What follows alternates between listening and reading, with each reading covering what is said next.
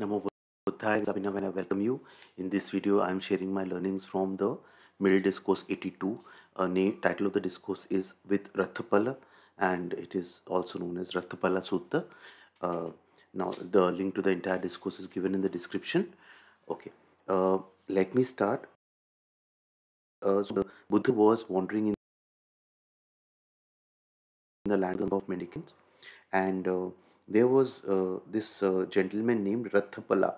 Now Rathapala, uh, so when the all the Brahmins and householders of that particular area they were, met uh, met the uh, uh, Buddha, and there was this gentleman called Rathapala who was the son of a leading clan at that place, and he met the Buddha, and he he thought that you know why don't I it's not easy for someone living at home to lead a spiritual life utterly full and pure like a polished shell.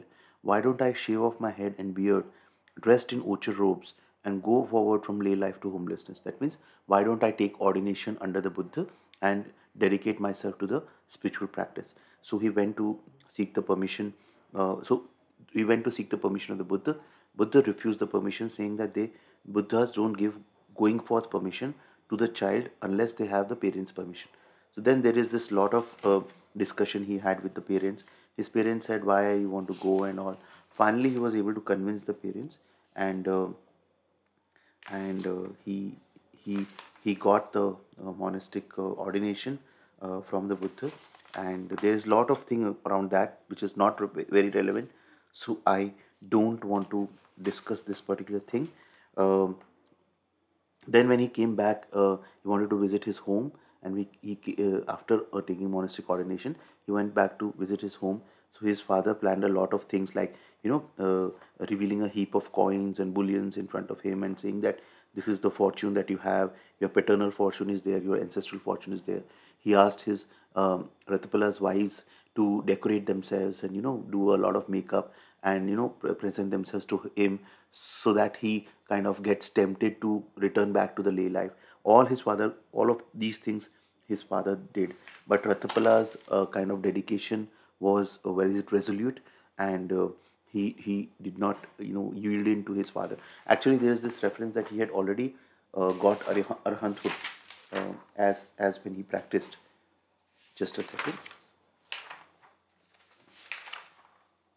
Yes he got he got arahantship. So once he got the arahantship in his practice then there is no question. All the defilements had ended by that time. So when he went back his father tried to lure him into returning to lay life which he, he was he totally you know was not interested in that. Um, uh, then he he said a story uh, when he had eaten. So so he said "Mm, father don't please harass me. If you want to give me food give me food otherwise i'll go. So his father served him food and everything. So he said after that he said uh, kind some verses see this fancy puppet a body built of sores diseased obsessed over in which nothing lasts at all right? He's saying about the body's impermanence. You it's a diseased thing which you obsess but nothing lasts like this body will end one day. See this fancy figure with its gems and earrings. It is bones encased in skin made pretty by its clothes right? Bones encased in skin. So he's talking about the body.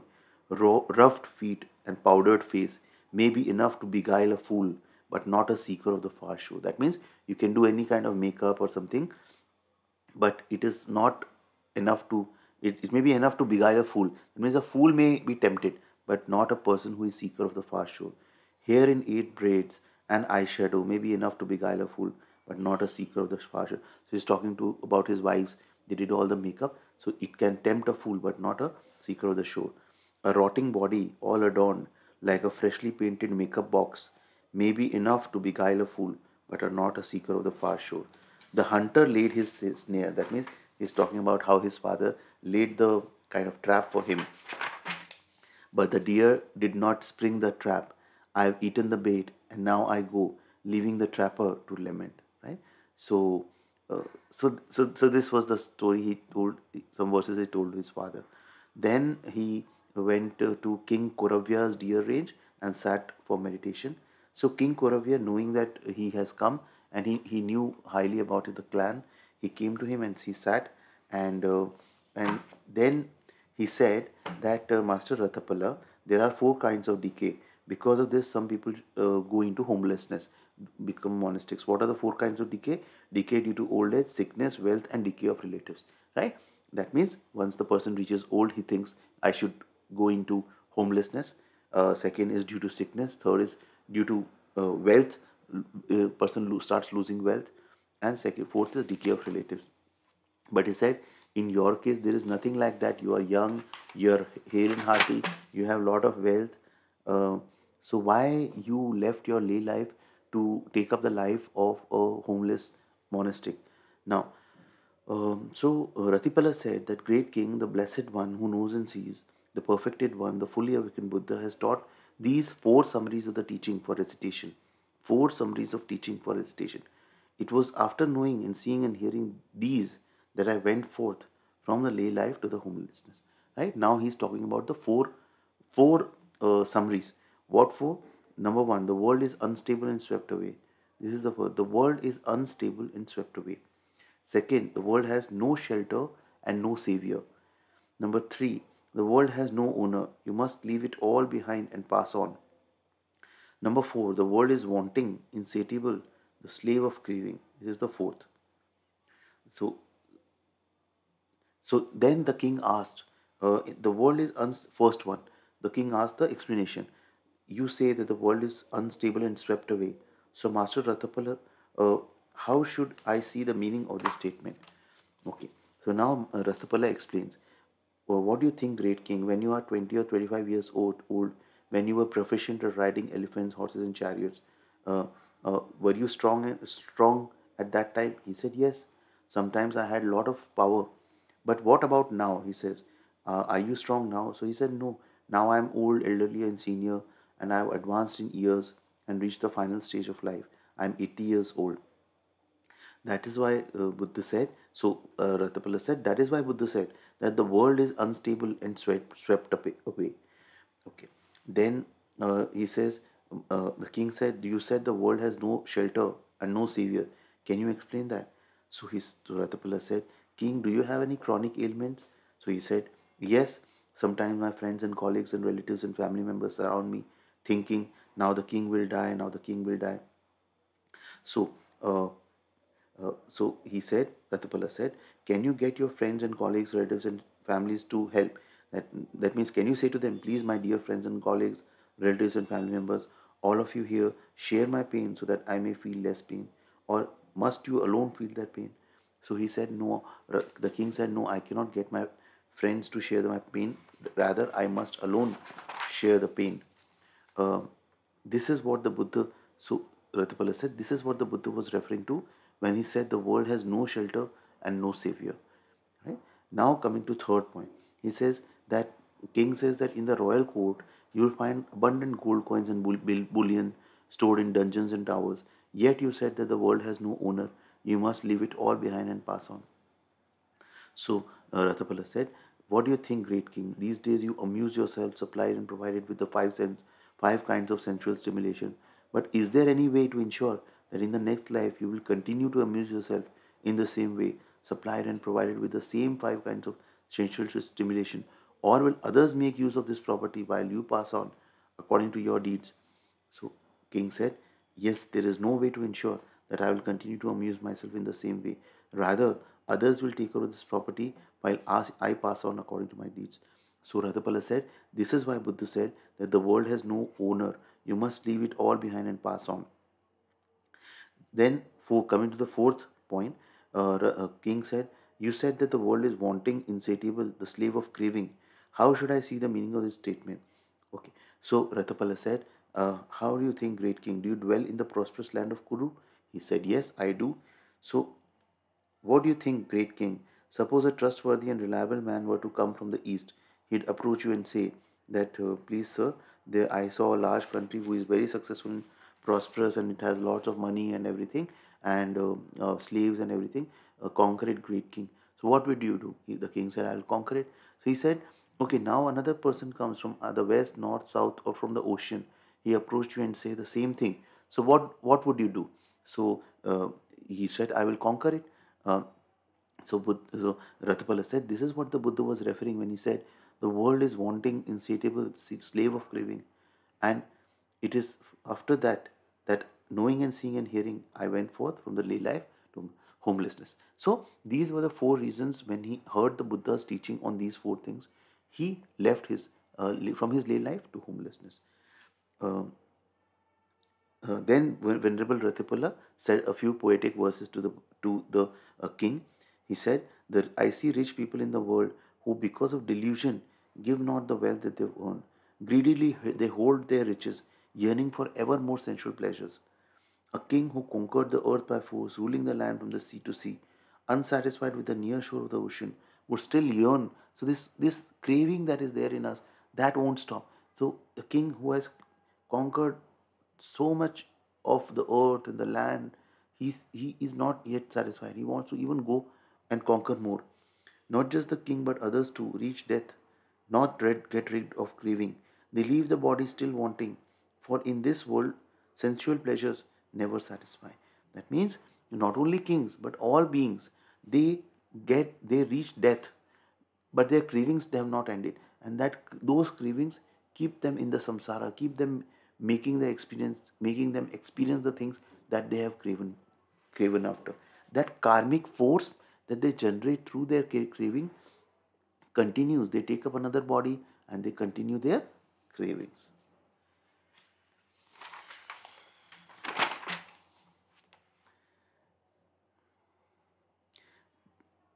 so there is this thing that relatives lament their hairs disheveled saying alas alas they are not immortal right when they die the relatives lament that they are not immortal, they die. They take out the body wrapped in a shroud, heap up a pyre, and burn it there. It's poked with stakes while being burned. In just a single cloth, all wealth gone. When you go, oh, there is only the single cloth that is there. All wealth is gone. Relatives, friends, and companions can't help you when you are dying. So when you die, uh, there is no one that can help you. You only have to do the uh, see the pain. Heirs take your riches while being beings fare in accordance with the deeds. So this is what the Buddha's second knowledge got what he got at the time of his enlightenment that sentient beings get the another rebirth as per their deeds. Right? Riches don't follow you when you die, nor do children, wife, wealth, or kingdom. Longevity isn't gained by riches, nor does wealth banish old age. For the wise say life is short, it's perishable and not eternal. And that's why Buddha always said that Remember that death is fast approaching. Keep doing your spiritual work. Get rid of all the defilements. Get rid of all the cravings so that the suffering can end. The continuous birth that we take that can end. The rich and the poor feel its touch. The fool and the wise feel it too.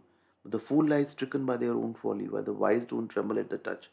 Therefore, now hear this wisdom's better than wealth, since by wisdom you reach consummation in this life. But but if because of delusion you don't reach consummation, you will do evil deeds in life after life. And with evil deeds, you will keep building the karma and you will keep stuck in this cycle of samsara. So, friends, what we have to do is that we have to place the wisdom that is more important in our life and come back to these teachings. Time after time, coming back to the Buddha's teachings and staying grounded in these teachings and getting that wisdom. And with that wisdom, we see that everything is changing, eh, nothing is permanent. There is no permanent self, and everything is a suffering within it, and that helps free us. One who enters a womb and the world beyond will transmigrate from one life to the next, while someone of little wisdom, placing faith in them, also enters a womb and the world beyond. As a bandit caught in the door is punished for his own bad deeds, so after departing in the world beyond, people are punished for their own bad. So after you depart, only your karmas go with you, and according to your karmas, you choose which realm you you experience in the next rebirth. And if you are de- done evil deeds then you experience the corresponding uh, pain because of those deeds. Sensual pleasures are diverse sweet delightful. Appearing in disguise they disturb the mind.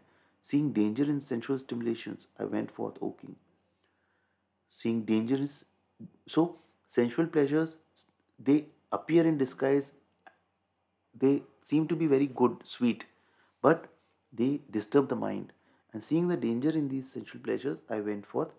As the fruit falls from the tree, so people fall, young and old. When their body breaks up, seeing this too, I went forth. O king, the ascetic life is guaranteed to be better. Right? So this is the Middle Discourse 82 a wonderful discourse uh, containing learnings on. See, the, the what I understand is that Buddha is not basically Ratthapala is not saying that leave everything and go to uh, homelessness. But important thing what he's trying to say is reduce your attachment to the, these desires, these these you know sense objects. Reduce your cravings and desires and attachments more and more, and more and more, so that we can kind of you know declutter our mind. Otherwise, our mind is cluttered with these desires or all the sense objects, and that desires cause us worry, cause anxiety, and all. So let go of the desires, lead a simple, normal life, be in the present moment at all times, guard your senses, stay away from sensual pleasures as much as, as can be possible in the worldly lay life that we can, right? And come back to the teachings. Again and again, come back to the teachings. So I hope this was insightful. Do share your comments, thoughts in the comment section. Thank you so much for watching this video. Namo Buddhaya, Namo Buddhaya.